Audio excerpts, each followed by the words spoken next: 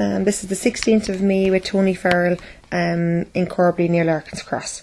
Hmm. Thanks, Tony. Okay, so um, you were a fisherman, so was it? That's right. Well, all Yeah. belonged to me, like all my family, like. Okay.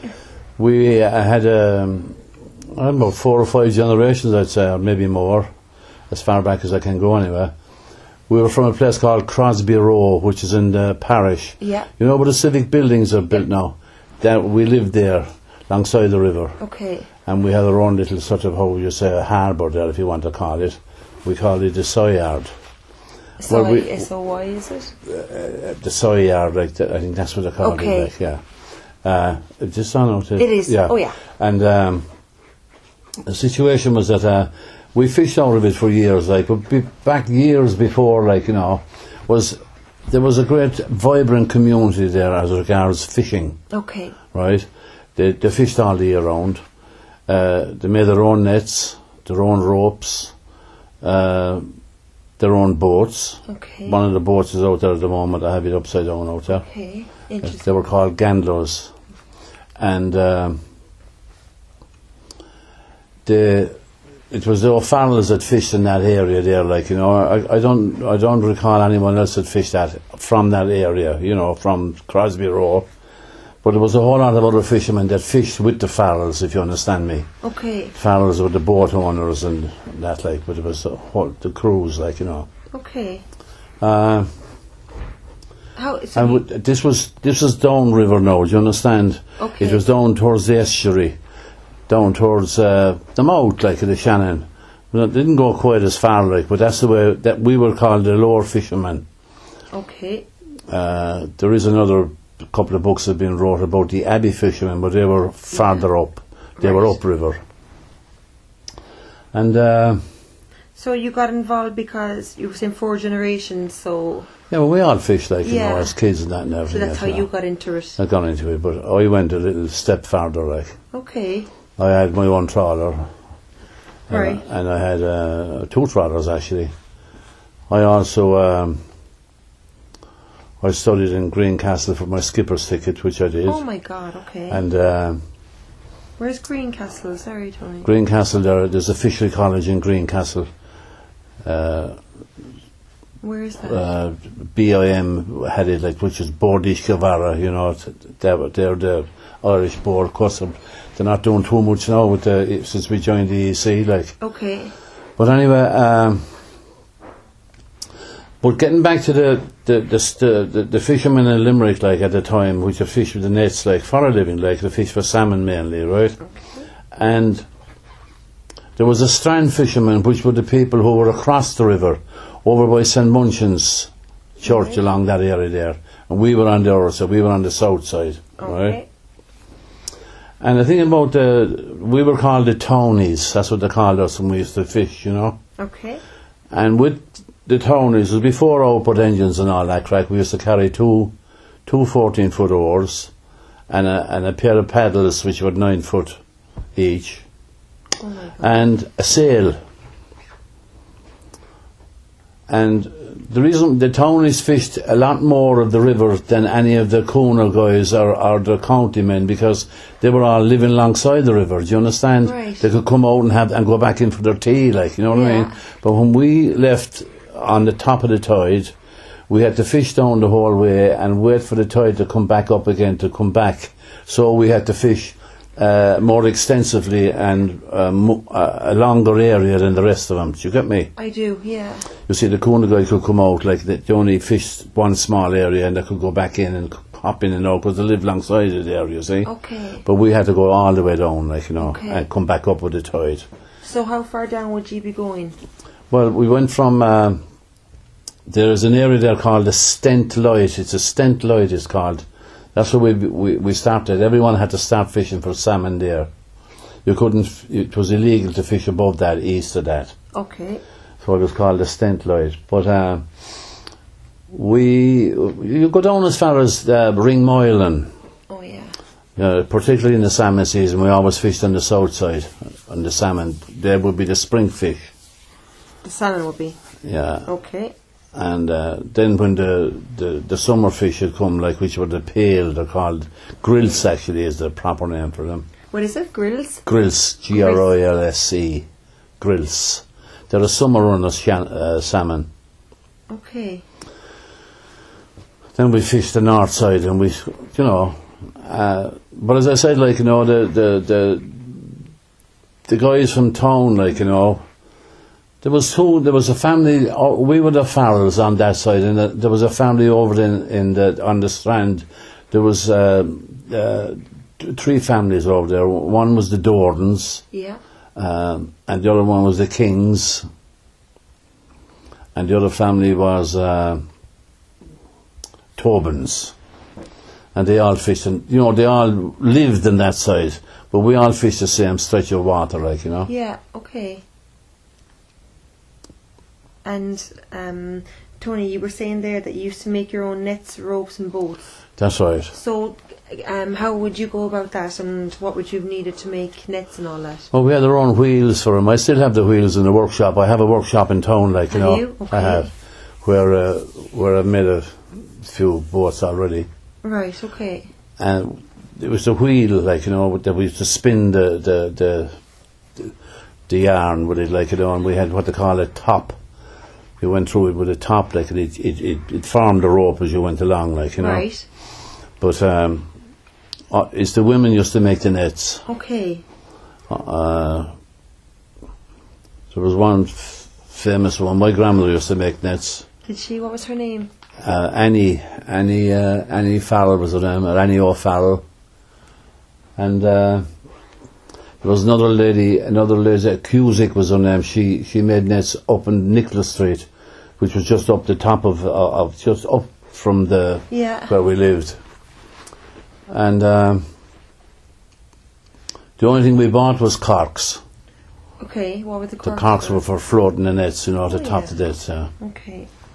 And um, And so you made your own. There were the ropes, and you made the nets, and for boats. the then? boats, yeah. And you made all this in your workshop. Yes, well, not in the workshop I have now, but there was a, a workshop we had originally done by the civic buildings. Okay. The remains of it is still there, actually. If you Is ever it? yeah. Whereabouts is it? It's uh, out. It's out in the yard of the civic Yeah. buildings. Okay. You know, you That's where it was, right yeah, there. Yeah, Okay. And did you make? You obviously made boats for, Other- for Limerick and everything. yeah, yeah. Very good. Okay. There was two boat builders, two main boat builders. One was the O'Farrells, and the other one was the Dordens. Okay. The Dordens built them across the other side of the river, like you know. Right. But they were the two main. Uh, And this was full time for you, obviously, was it, Tony? Well, it was full time for for me. For me, it wasn't like you know. We had uh, when I was on about we were we started fishing in the fifties, Okay. and um, by that time, then you, they used to they used to fish for flat fish as well during the during the the winter, Okay. and they used to go right up till Christmas, and they used to sell the flat fish. The women used to sell the flat. They were called fluke or flounder. Yeah, I've heard of those. Uh, they, they used to sell them in Nicholas Street. There used to be a market there in Nicholas Street two and three times a week, like, you know. okay. But when the 50s came along, like, you know, that sort of died off, you know. The fifties instead of dying down. No, it's uh, the, the winter fishing started dying off. Sorry. Okay. So I, I left, I wanted to go full time, so I went, that's when I went on the trawlers. Okay. And what did you do with the trawlers then? Well, I was trawling, like, you know, at sea, you Yeah. know. And uh, then, as I said, I went for my skipper's ticket. And uh, I bought my own trawler in uh, the 70s, the first one. And where would you go trawling? I sorry? trawled the lower Shannon. Okay. Yeah, nineteen- down that was by- in- that was in the 1970s, right? Yeah. Started in the Shannon. Okay. Uh, that'd be around uh, 72 or 3. Okay. I did that for four years anyway. After that, then I sold her. Yeah. I sold the boat and I went back trawling at, uh, in the winter time, like, you know. Uh-huh. Uh, I went back trawling and uh, at sea. And then in the 80s, I opened a fish shop. Okay. Uh, Arvode Seafoods, it was called. What is it? Arvode, A-R-V-O-D-E, Arvode Seafoods. Okay. and uh, that was um, that went for a, a good couple of years. It was it was directly opposite the Franciscan Church, actually in Limerick, Okay. in Henry Street, and uh, and then we diversified. We started cooking it. Unreal. So I opened a seafood bar there, You did not, did you? mm, and it was very, uh, very popular. Dressed crab and all that kind of carry on. And what was the name of that place? Uh, that was Arvode, but then Arvode, when, when we when we diversified, we opened a chipper, a fish and chipper there, and, and it was called the Lobster Pot. Oh, yeah. That's So, very uh, good. That went for a good many years, like you know. That when we were nearly there, we were in that premises for nearly thirty years, you know. 30 years. And um, were you still fishing I was, yeah. the whole time? Okay. Yeah. So you caught all the fish, I'm assuming, for these. Well, not all the fish, like, but most of the fish. You couldn't keep catch all of it, like Right, you know. okay. Sometimes you get a certain species of fish that you would you'd sell to the the local fishmongers Mm-hmm. and that, like you know. Okay. But I was landing into, um, I was fishing out of Carrigaholt, which is the on the Shannon, the lower Yeah. Shannon, and I was I was landing in there to the co-op. Okay. Yeah, but the co-op is gone now, like you know. Is it? Yeah, the fishing sort of, well, the EC made a complete hams of the What whole lot. happened there, Tony? Tell me Well. When they, when they joined the EC, so they gave 75% of the fishing uh, uh, of the West Coast away. Right. Yeah, and that's happening this very day now, like, you know, we don't own it anymore, like, you know. Okay, so It's the EC, like, the, Yeah. the, is, we're, we're so-called Europeans now. But they gave it away just so to, is it you? You're. Do you think the fishing declined here in Ireland because of that? well, there's no doubt in my mind, yeah. Okay. Because we weren't allowed to catch, we were only allowed 25% of it, like, you know. Right. Okay. And I got out then, like, I sold that, my last trawler, I sold that, and Okay. you could say semi-retired after that. Right. Mm. Okay. Do you think that's the main reason, so that the fishing declined here? Doesn't? do- Can you think of anything else that may have led to the decline? Yeah, but then, on, oh, th- then recently, like, you know, they, they took, uh, they took all the fishing rights away from the fishermen on the river. what do you mean by that? They took, the, you're not allowed to fish for salmon on the river anymore. Is that for conservation or? Yeah, well, they said it was, like, you know, it didn't seem to make much difference, like, you know, Yeah. they're off it now about 15, 15 years.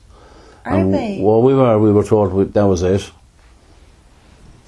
I think the biggest compensation that was that was uh, handed out was about thirteen thousand or something like that. okay. Thirteen, like That's nothing. It's just not. crazy.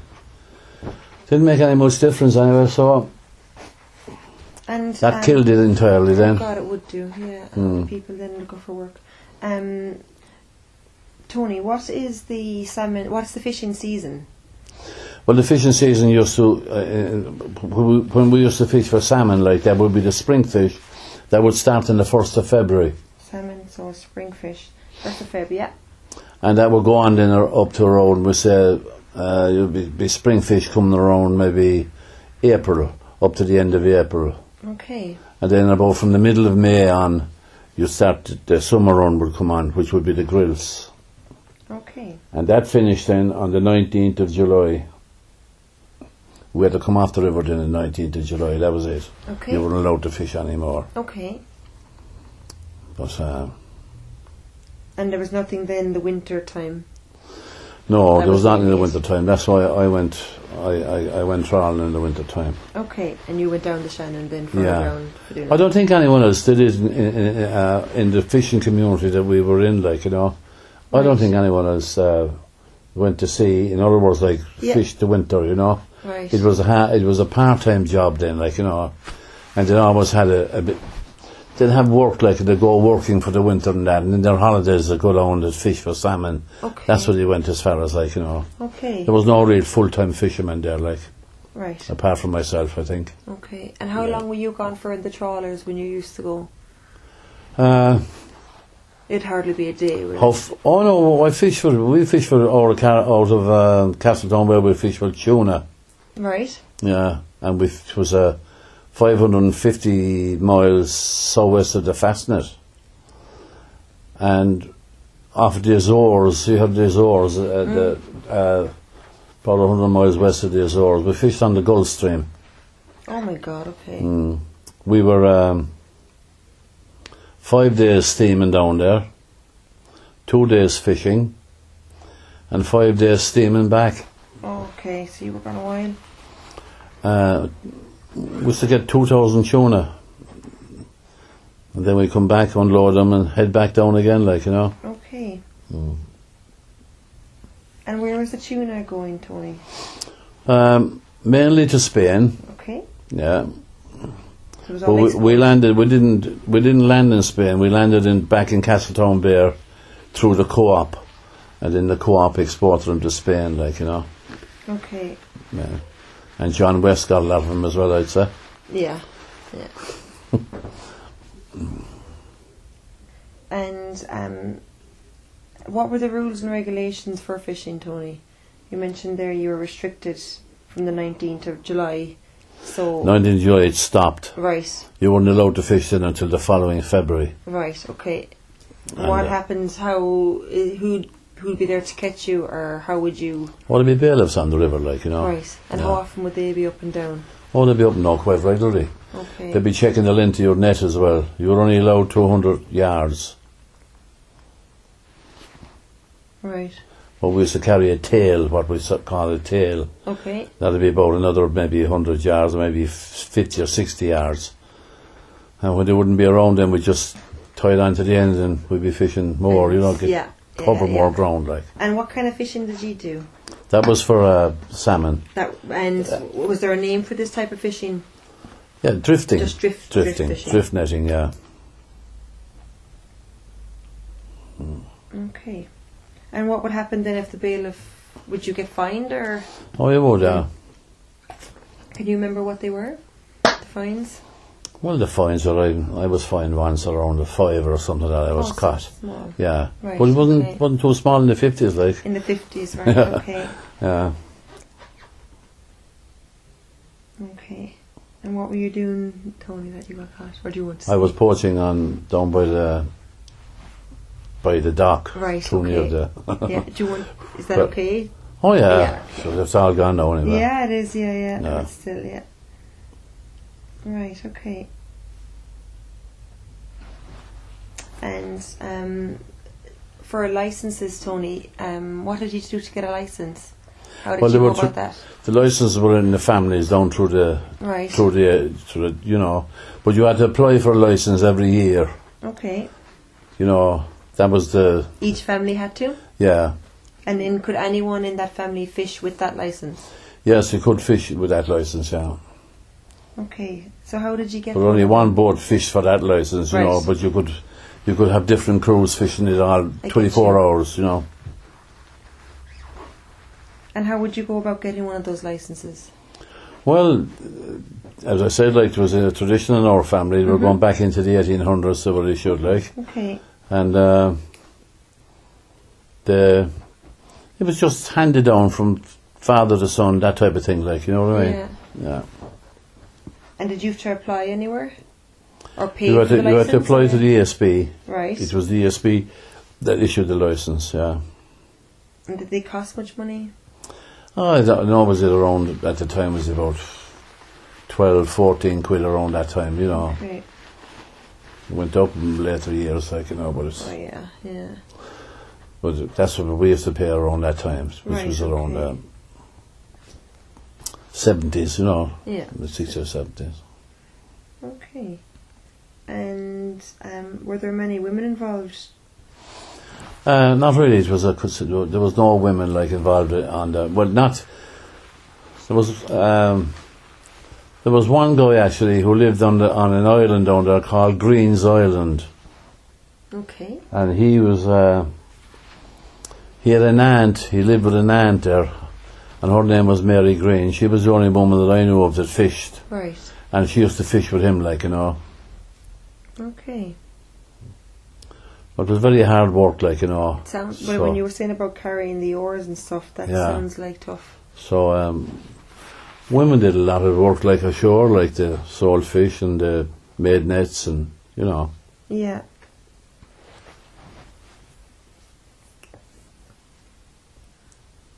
Okay. Um, and but making the boats, Tony, how did you go about that? Where did you source? Well, we made the boats through it. There's, uh, there was timber used to come into the dock. There was uh, timber boats that were called, and there was uh, there was um, st- st- uh, White Deal it was called, but he was down from Archangel in, Right. in Russia. Used to come in. McMahon used to bring it in, Oh the yeah, timber yeah, merchant. timber. And uh, sorry. we go down, we pick out the planks like for it that we had, like you know, Right. And what kind of timber did you say that would be? uh, white deal or spruce. okay. Uh, that was, Yeah. and uh, we get them coated like uh, t- to the size we want, and then we shape them ourselves, like you know, and make the boat. Okay, cut the side. Right. And how would you go about making the boat then? I just saw one outside the window. Um, how would you go about making. Well, that boat there, no, that's a Curragh. Right. That one, that's a Curragh design. I built that. Well, was a friend of mine. We built both, two of them actually. He has one, I have the other one. Right. But I have a boat here, which is the Gandelow. Okay.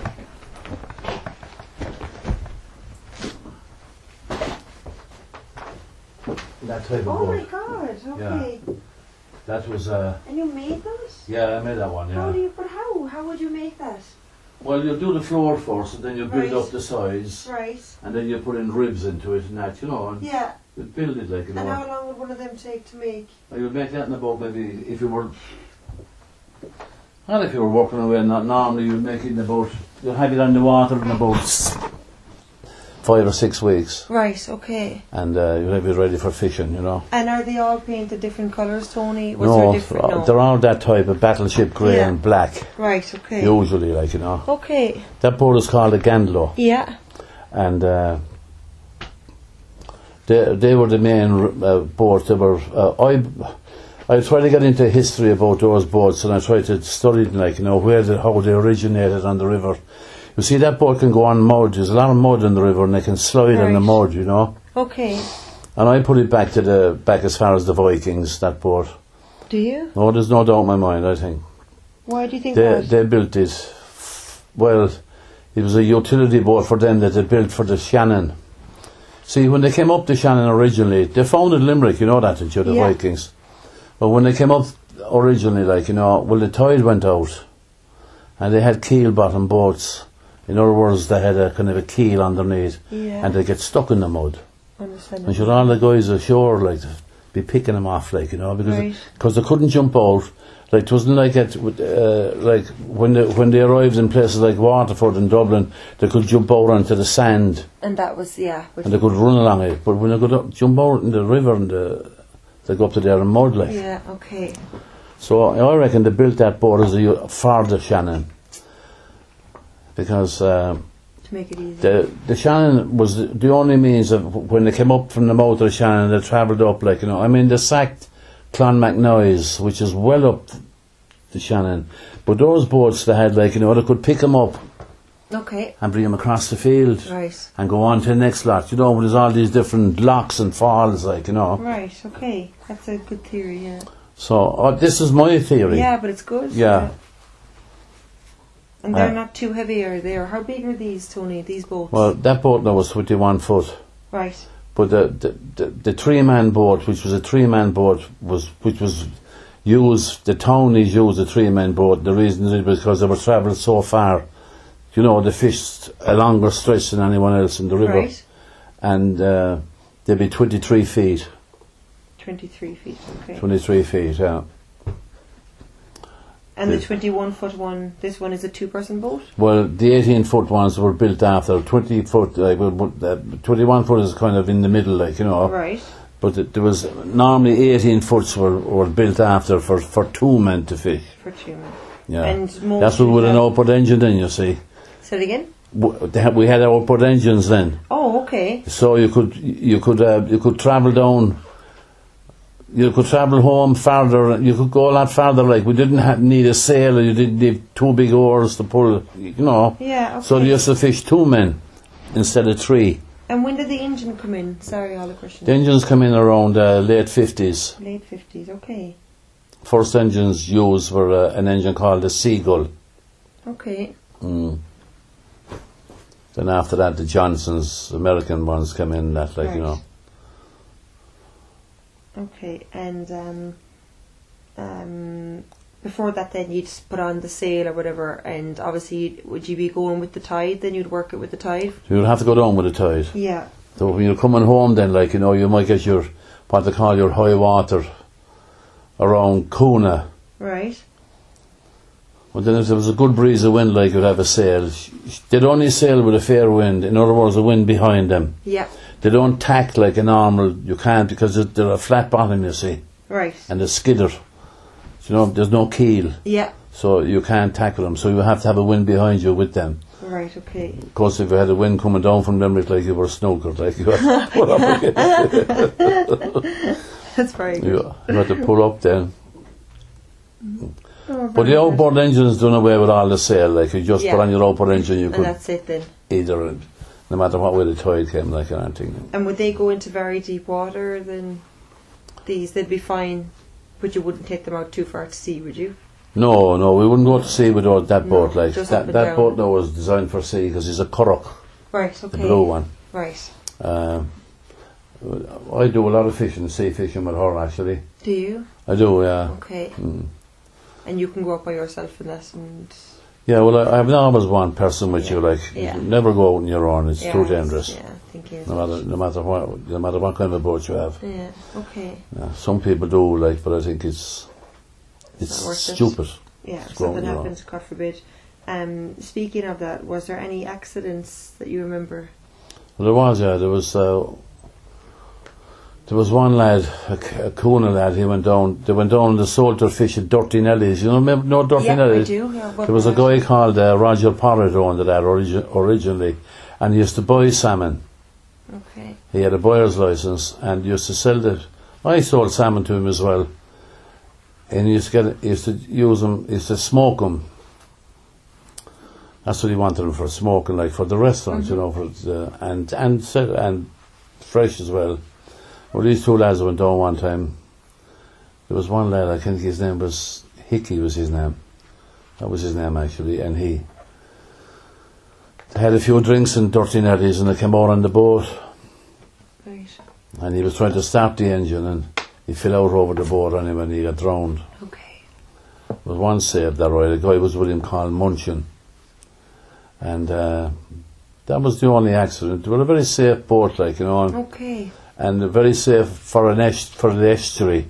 But I never remember anyone really, uh, that's the only one I, I can remember. And I'm 30 years on the river now, you know. Thirty years. Yeah. Okay. More than 30 years, am I talking Right. about? Since the 50s. How long was that? Oh God, over thirty years, so fifty years old. a long, long time. okay. But, but um, And you just made, sorry, go on. There, that's the only accident I can remember of. Okay, which is good. That's good. Yeah, Yeah. that's not many, thank God. Mm. Um, you just mentioned their buyer's license. Was there many different types of licenses, Tony? A buyer's license. Yeah. Well, a buyer's li- you had to have a buyer's license to buy fish. You see, you have to have one at the moment as well, like right. if you want okay. to. You know. Okay. Um, And what was your license called? Did you say? well, the license I had was um, I had a, a tonnage. It was tonnage for the trawler you had. That was your license. You know. Right. you could only uh, it whatever capacity you could fish in, or was it the bigger your trawl or the bigger ton- tonnage you had, like you could go out farther and fish for more, like you know. Well, the last trawler I had was a sixty footer, Right. and uh, there was a license in her. You had it painted on your uh, painted on the, the side of the board G fifty seven, then L sixty three, and all that carry on, you know, Right. so they know who you are. Okay. You know when you be out there fishing. Right. But um, uh, but a buyer's license is different. Like I think anyone can get a, a fish buyer's license if they want to uh, buy fish commercially. Yeah. Uh, So you you apply you can you apply to uh, BIM for it. Right. Bord Iascaigh Mhara, yeah. And was there any other types of licenses? If you were to go out in the gandelow, what kind of license would you need? Well, you had uh, your fishing license with that. just a fishing license. Yeah. That was called. Yeah, that was the one you fish with, like with the nets. Right. Okay. But you could go where you like or like you know, Say It, it, it was more of a chariot for us, for our family. Yeah. We used to go then, at this, when the fishing would be finished, we'd go off down for picnics down the river and everything else, you know. Okay. You know. And where would you go for picnics? We'll go down to a place, Greens Island, down to, that'll be down the motor, down by Bunratty. Okay. There's another place called K Island, and you know, Yeah. You just go down the boat. just go down the boat. We, we, we did all our things in the boat. We'd often come up river in the boat as well, Okay. up to Thomas's Island, which is not too. It's only you can see it from here actually, from my house now, Yeah. across there, and uh, picnics again just for the summer, you know. Yeah. That's, use that's the for your boat, uh, family, so yeah, on that. yeah. And food on the boat when you used to go out before, if you were going out for a few days, would it be, or what did you do for food then? Well, we carry with us. You like, carry yeah, we had what they call a grub box. Right? Yeah, and we have to we used to have to carry fresh water as well. Oh yeah. Fresh water. No, I I have one. There was one of those there. See those little jars. What are we looking at? Oh my god, I remember those. Okay. We used to What carry the fresh water. An earthenware jar. Earthenware. Yeah. We used to carry the fresh water in that. Okay. and how long did you say you'd be gone for if you went out on the boat? Well, on the salmon, like we go up, we go down with the tide and come back. Like you'd be talking about twelve hours, twelve hours, you know. okay. But in the trawlers, like you'd be off and off for three or four days. Like I and, know. And as I said, you'd be well, ten days. We were fishing farther down, like with, for tuna, but I was fishing another boat then. Like it wasn't my own boat. Like Okay. Very good. Mm. Um, and what kind of food would you take with you, Tony? If oh, the best of grub. Yeah. You would have steak. Would you? Oh, you would have the best of steak and spuds and vegetables and all that crack in the trawlers. Right. And you'd have fresh fish. Yeah. Oh yeah. yeah. No. And if you went in the gandelow, what would you? On the gandelow, we'd only have a little grub box. We'd, we'd bring uh, uh, sandwiches and stuff like that, you know. Yeah. The only thing we do is uh, we used to have what they call a fire bucket. Right. It was a bucket with um, with holes punched in it, like you know, like a grate, Right. and then we'd fill the bucket with um, with earth halfway, and then we'd light a fire on the top of it. You understand? Right. Okay. And have our pot or, or kettle beyond that. Then that's how we used to cook, like you know, with the. Very good. It was the best thing to use because if you were bringing an old Primus lamp or uh, one of these little gas lamps to keep blowing out in the wind, like you know. Right. But a fire bucket used to get hotter with the with the wind, like blowing it, you know. Mm-hmm. And uh, that's what we used to have the fire bucket. It's really good. Mm. Okay. And um, um, had you nicknames or anything? Loads of nicknames. Okay. I could tell you we had one. I fished with a guy like who he, he- uh, my father had my brother fishing with him. But I fished with two guys, like you know. Right. One was called Nowlers. Nowlers used to call him. Right. N O W L E R S. That's the only way I could say it. Yeah. Uh, and his brother was uh, his name was Paddy Carroll. His brother's name we used to call Storm. We called him Okay. because he was a real sea dog, you know. Was he? and he was in the First World War. Actually, he was in the Dardanelles. Uh, you might have heard no, I of it. haven't. No. Uh, well, that was um, Mr. Mr. Churchill's debacle. I'd call it during the First World War down in the Gallipoli. Okay. and uh, he he came out of the Dardanelles. They were they were taking they were like sitting ducks down there, but that's what we used to call him, uh, Old Storm, you know. Right. And he had all old sayings and that. Then there was another crowd across, across across in the on the strand side. Okay. One guy was called Blackie Dorn, what is to call him. He used to build the boats, and they called his son Blackie after when he went, when he died, like you know. Okay. And then there was um, there was a guy called um, Timmy Tobin was his name, and they used to call him the Dead Egg. So, uh, yes. And what was your nickname? well, I didn't have any nicknames. You didn't Give have me one? no. I Okay. The old timers had all these. Like, Right. mind you, if I did have a nickname, then why did it said it behind my back? they would, know. yeah. Okay. Well, there was a name that was called one time. I remember Brooks. Right. young Brooks.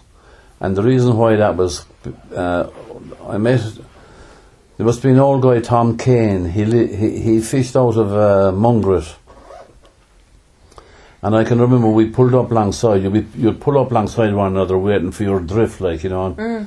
and he, he said to my father, I was fishing with my father at the time, and he said, I was only about 12. And he said, Is that young Brooks? And I couldn't understand why he said that, like. Yeah.